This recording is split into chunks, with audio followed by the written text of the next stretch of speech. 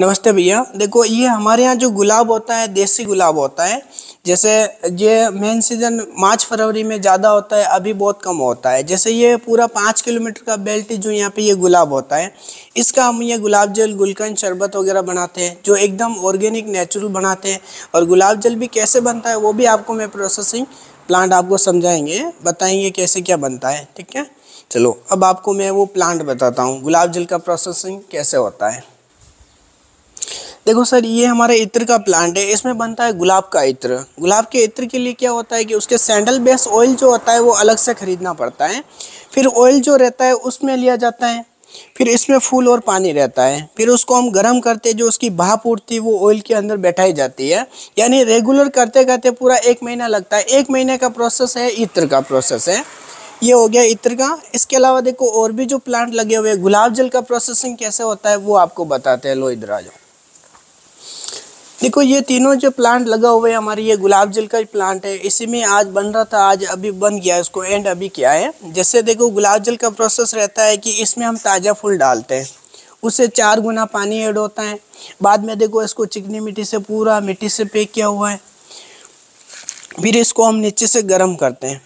गर्म होने के बाद जो उसकी भाप उठती है वो उसमें आती है। इसमें ठंडा पानी भरा हुआ है।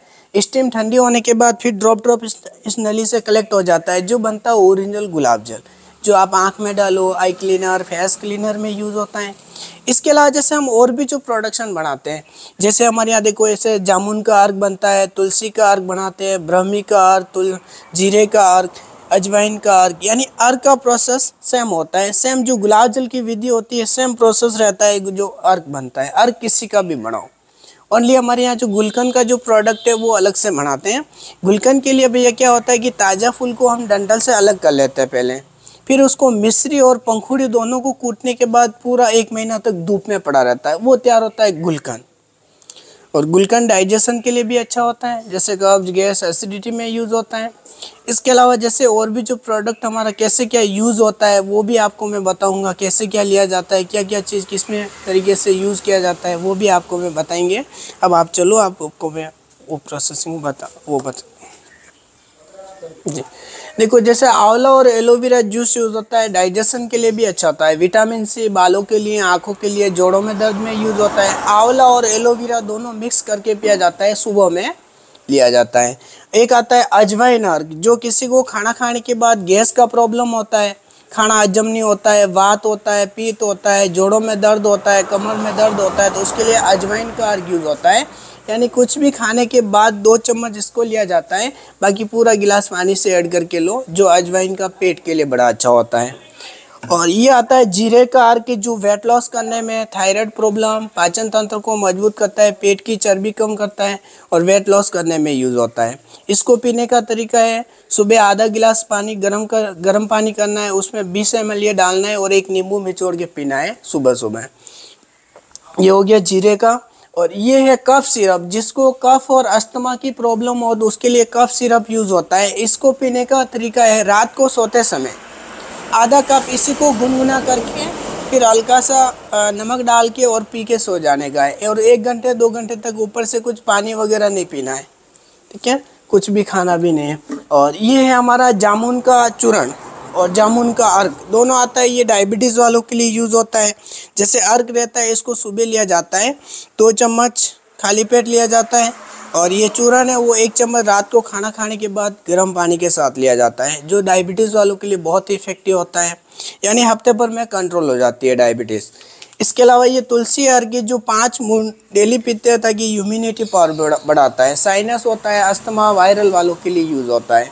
इसको पीना है ओनली सुबह आधा गिलास गर्म पानी में पाँच मून डेली पीना है। ये तुलसी वाला हो गया।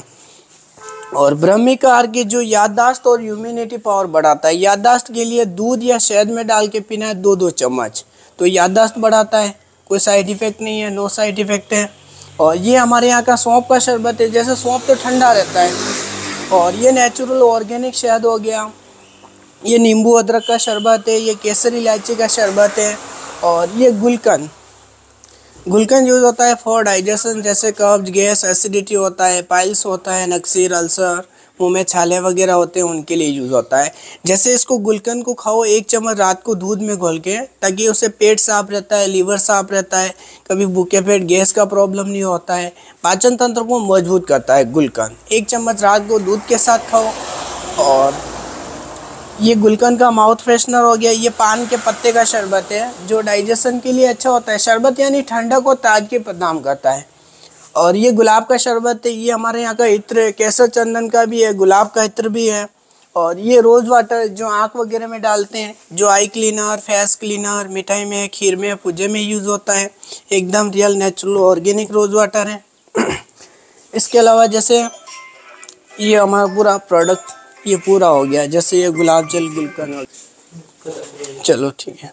जैसे देखो, जब भी आप हल्दी घाटी आओ तो ये हल्दी घाटी में हमारी शॉप है, जैसे हम ऑर्गेनिक बनाते हैं, गुलाब जल गुलकन शरबत वगैरह।